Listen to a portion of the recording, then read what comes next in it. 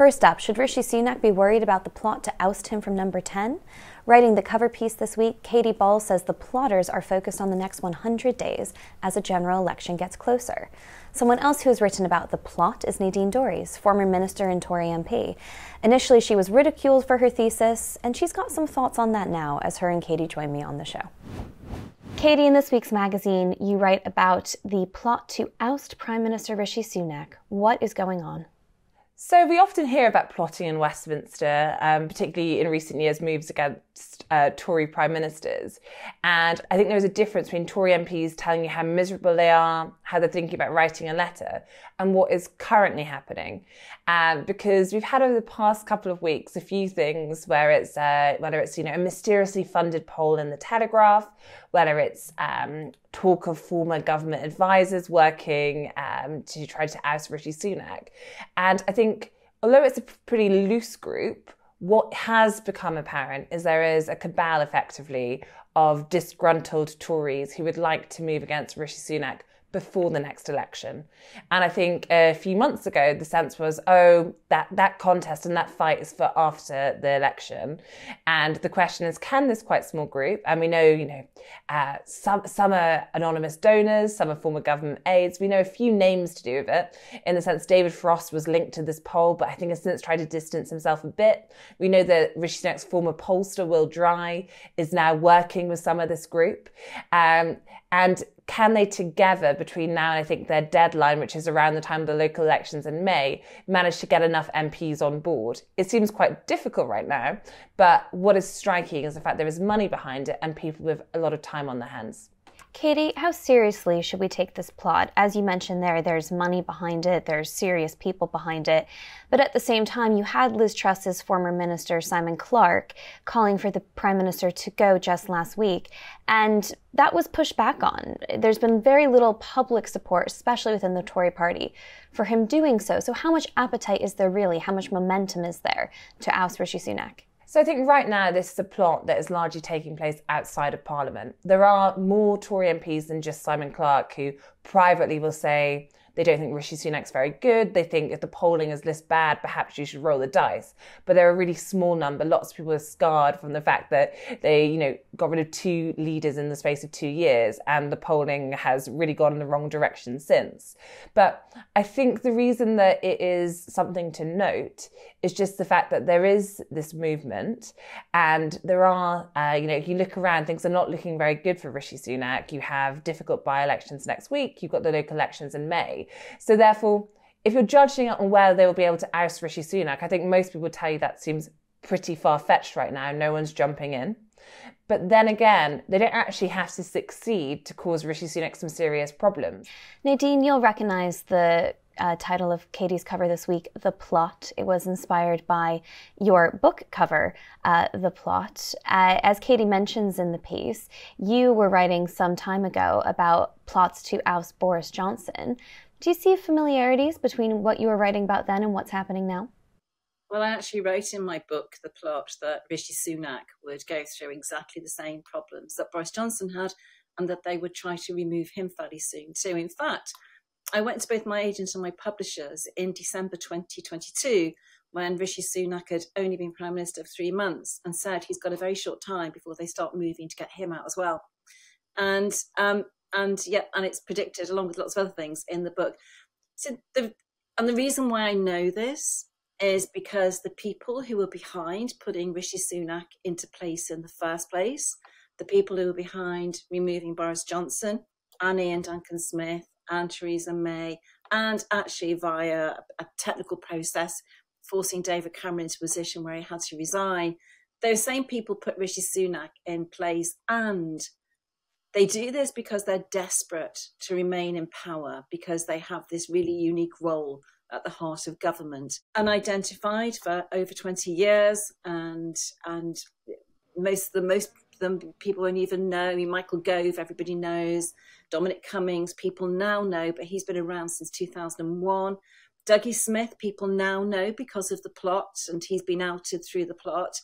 And it was reported only a couple of weeks ago, I think, that Dougie Smith was advising the plotters. And the reason why he's moved from the person he put into power, who was Rishi Sunak, onto Kemi Badenoch is because they desperately need to keep inside number 10 and inside Westminster, and they see it all disappearing in front of their eyes now that they're 20 points. Basically, they got it wrong.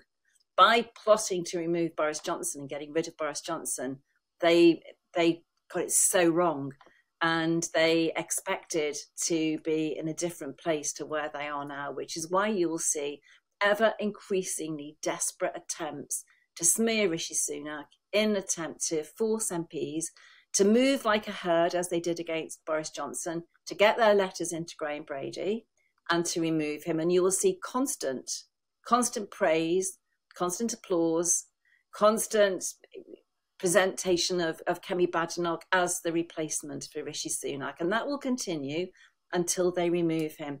And I'll just give you a date, kind of like how they will work this. They what they wanted Boris Johnson out before Parliament rose for the summer recess in the July of 2022. And they achieved that. And they will be looking for a key milestone with Rishi Sunak. They'll be looking either for the May elections or for Easter. I can't believe they will go as far as July, but they will, they will, as you've seen reported in the media, be by cut by cut, by a process of attrition, constantly putting out negative news stories about Rishi Sunak until they get to the point where they can get him out. And what will be driving them on is that they will say Boris Johnson turned it around in six months, and they think Kemi Badenoch will be able to do the same. Katy, in your cover, you have some of the details that the plotters are thinking about for their timeline. Can you talk us through those? And also to Nadine's point there about turning things around, you write in your piece that the assumption um, that Rishi Sunak supporters made was that there would be time to get the polls into a better place. Actually, things got worse. Will the plotters be thinking the same thing, that it's only going to take a change of leader to see things improve? Yeah, so I think in terms of the timeline on this, um, I think that is probably seen through a few events that they can use to destabilize Rishi Sunak. And one is next week um, when you have two by elections. Um, I think, uh, speaking to some in government, there is a sense that next week could be one of the worst weeks yet for Rishi Sunak, which is probably saying something given he's had some pretty bad weeks. Um, in the sense, you're going to have inflation figures. I think inflation will not be going the way they want it to. You're going to have figures on growth that could show the UK has been in a recession. And then you could top that all off on the Friday by losing two Tory seats. Now, number 10 will turn around and say, these seats are really hard to win. One was sparked by Chris Skidmore as a completely unnecessary by-election, given the seat's going to go anyway. Anyway, at the next election, he just didn't want to stick it out. Um, the other, Peter Bone, uh, clearly was a, uh, is a very difficult by-election. You think of the terms he had to, uh, you know, lose a whip and so forth, and had his punishment for. Um, and then, so I think they'll be looking at the reform vote there to try and say, if reform does well, look, we need to move more to the right. Look, this isn't working, the current strategy, then I think you'll start to have more potentially on just a general uh, focus on boats. Is Rishi Sunak's policy going to work? And then I think building up to the local elections when you will start to potentially have a bit of a a horror result in the sense the last time the local elections in terms of these councils were contested was a high point of the Boris Johnson premiership. I think in return the Tories will be trying to focus minds on the budget and trying to say you know more tax cuts are coming, stick with our plan and, and trying to kick in some loyalty that way. Um, so so it builds up to then. And I think even the plotters, and again, they're not just one group, but you speak to different figures who want to oust Rishi Sunak, nearly all will concede that they don't think you can go to Nadine's point much later than May. They see the two weeks after the May local elections as the time one would have to act. I spoke to one who said, you know, if, if the MPs don't go for it by that point, they will happily retire and leave them to it. Let's see if that happens. Um, but that gives you a sense of the times. And then I think in terms of if you want to understand the logic of those pushing for a new leader, um, they would argue, I think the argument is, um, if you the party is probably heading to defeat regardless, but the scale of the defeat is very important in terms of rebuilding the party after how long you stay in opposition. And they think the don't know voters are largely Leave voters, the 2019 voters, and the current uh, situation and Rishi Sunak is not going to have that appeal. The best thing to do is get a new leader, new leader TBC, um, who then hits the ground running with a week of these uh, big announcements, particularly those on immigration, and makes a new impression on the public, and it goes from there. Now, of course, this is all a little bit fantastical in the sense are there really, you know, four really good news announcements to do that would fix the Tory party's fortunes? I think that might be um, a little bit wishful thinking, but that is, I think, how they would start to think you move to a new leader who can then make a fresh impression, particularly on Leave voters, where they think that Rishi Sunak has, you know, seen his popularity fall quite a lot. So, um, Katy mentioned May, the Wellingborough by election is going to be uh, a seismic moment, and it will depend very much on how, what reform poll in that election. I mean, I, I can't see them winning it, but you know, Ben Habib, who's the Reform candidate, everybody knows his name. And if Reform poll more than 13, 14, 15%, I think you'll see the um, Conservative Party go into what is almost a nervous breakdown point. And I think uh, Rishi Sunak, if Reform did really well in that election, would really struggle to survive past that day. You know, the one thing that both Boris Johnson and David Cameron did do, and George Osborne did do when they were in power, was they always had an eye to what was UKIP, then Reform, and to the left. And they constantly positioned policies to make sure that they had stakes in those ground.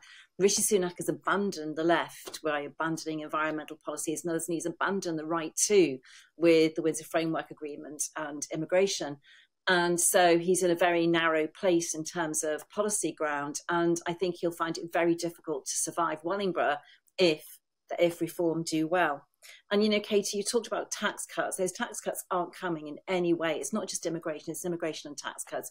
It's actually about conservatism, and that we know the tax cuts. There's already been this kind of like um, expectation management of, oh, we said there was going to be tax cuts to calm everybody down. Actually, there aren't going to be tax cuts, possibly because of a demand for increase in defence spending. So there's not going to be those tax cuts, and we you know the the Rwanda bill. Are we going to see the planes take off? And you know how many how many illegal immigrants are we going to see being returned or sent over to Rwanda? That, that's not going to make any huge impact, is it? And the fact that you know Rishi Sunak very this week has made three massive gaffes. You know, shaking hands with Piers Morgan. I mean, what what a performance by Piers Morgan. But you know, for any prime minister with any integrity or dignity to shake hands with a thousand pounds over the lives of people who travelled across dangerous waters to get here was just completely tactless.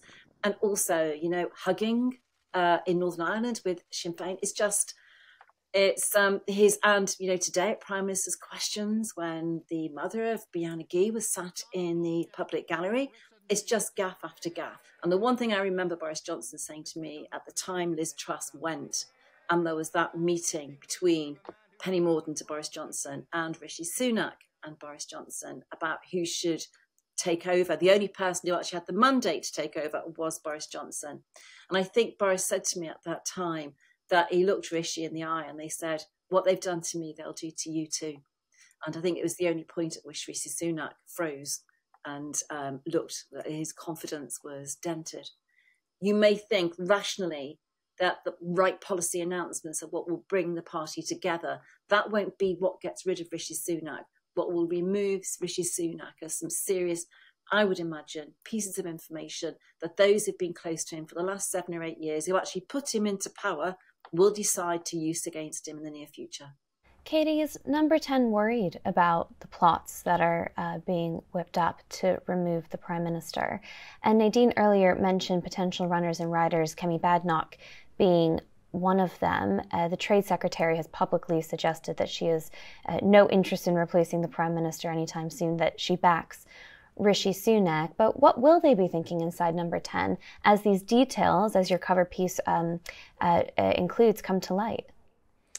So I think the view of number 10 is they're not nonchalant. I mean, they're trying not to suggest they're overly worried in the sense, oh, it's an amateur hour plot. Look at these people going around claiming they're going to bring down the prime minister. And I think there's been an effort to almost try and, um, you know, we've seen some names come out. I think there's a view of trying to find out who the donors are. It's harder to hide in, you know, daylight than nighttime.